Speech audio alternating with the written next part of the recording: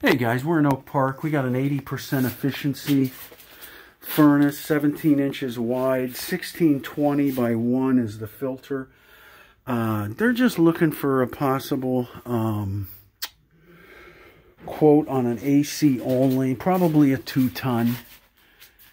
Let's take a look here. The coil, it's got a drain right here.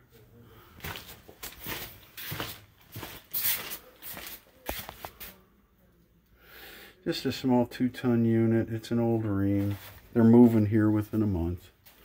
So